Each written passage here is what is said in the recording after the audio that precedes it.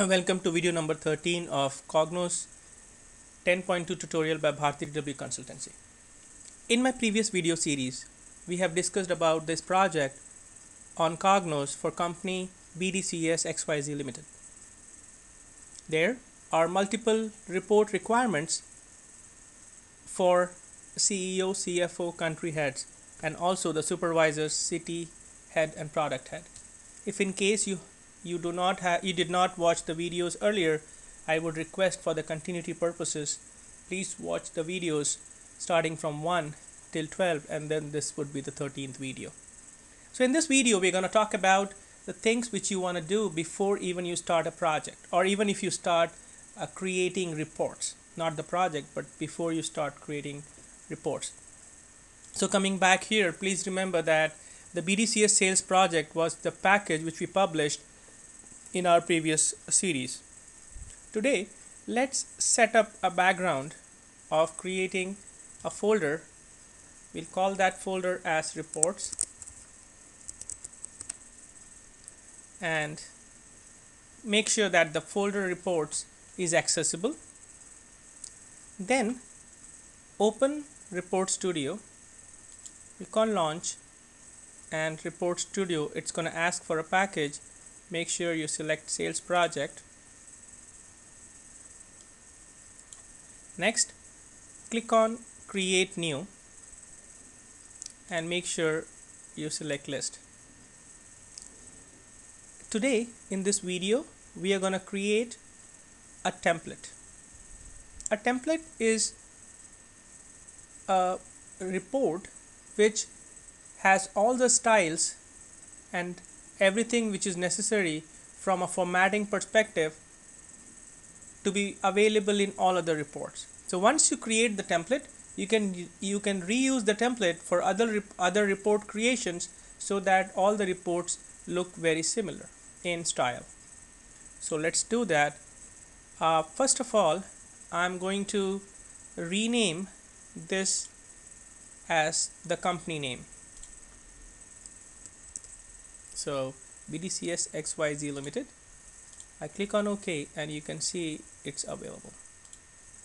Then I can change the background color.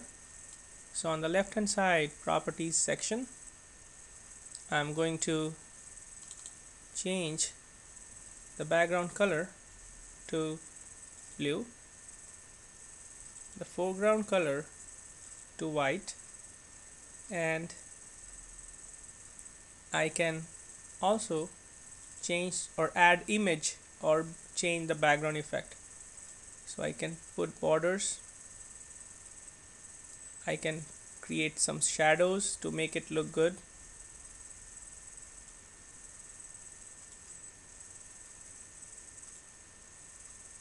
And then I can add the borders in the header section. I'm just formatting a report so that it can become a template.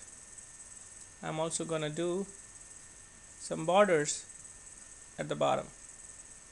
So selected the header page header created borders and then selected the footer and again create borders.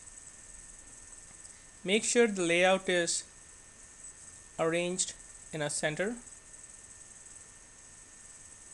And also you can add a text for writing the word confidential. So go to toolbox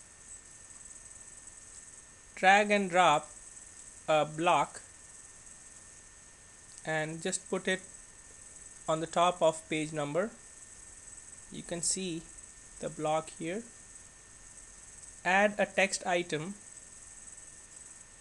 and drop it in this block and say word confidential. So the word confidential is here. I can make it as italics and you can remove or manage the size to maybe a bit more. There you go. And then I can save this as a template. So I go to please make sure that you notice this. This is the package which is available. Go to file say convert to template. Once you do that you can see that the package is gone and then just save. This is what tells us that a template is independent of the package and all it contains is the styles so I'm gonna open the reports folder and I'm gonna save it as report template. So keep watching this video series. In the next video I'm gonna show you how to use the template to create our first report which was gonna be the dashboard for CFO keep watching